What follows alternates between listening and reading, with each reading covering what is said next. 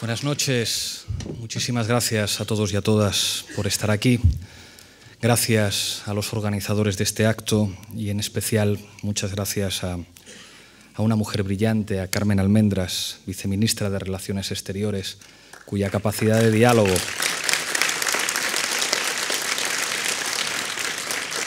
y cuya capacidad de empatía ha sabido tejer las redes necesarias para que un acto como este sea posible. Muchas gracias, Carmen. Creo que lo importante de este acto es que aquí estamos personas que pensamos diferente en muchas cosas, pero que coincidimos al menos en dos elementos. El respeto por la verdad y a partir de ahí el reconocimiento de los avances sociales que se han producido en Bolivia en los últimos años con la presidencia de Evo Morales. Y eso es lo importante.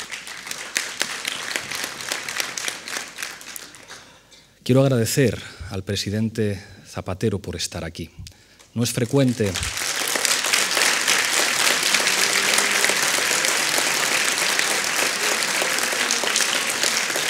No es frecuente que en España un expresidente ponga su prestigio al servicio de la resolución de conflictos y al presidente Zapatero le van a criticar mucho por estar aquí. Gracias por estar aquí, presidente.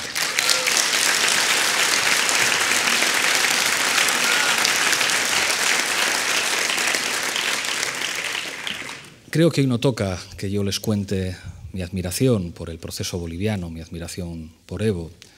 Saben ustedes que he visitado muchas veces Bolivia como investigador, como asesor político, también como secretario general de Podemos, pero creo que hoy no toca mi opinión, mi opinión ya la conocen ustedes. Creo que hoy toca hablar de datos fríos, pero datos fríos detrás de los cuales hay personas y que hablan por sí solos.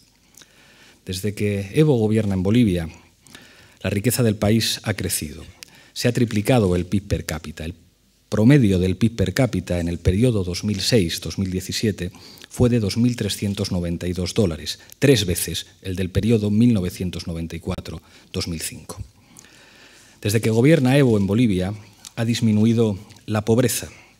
Cuando el presidente Morales asumió la presidencia, la tasa de pobreza extrema llegaba al 38,2%. En 2015, la tasa extrema de pobreza se redujo al 16,8%.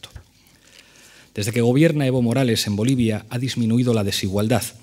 En 2005, el 10% más rico tenía 128 veces más ingresos que el 10% más pobre.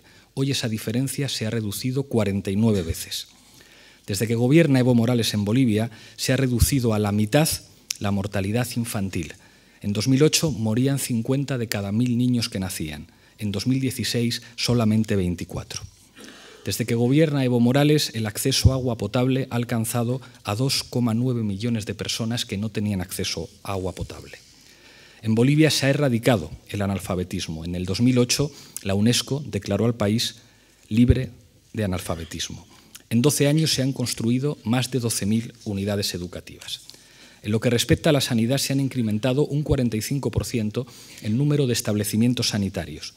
En lo que respecta a la inversión pública, Bolivia tiene la más alta inversión pública en la región como porcentaje del PIB y en 2017 la inversión estatal aumentó nueve veces respecto a 2005.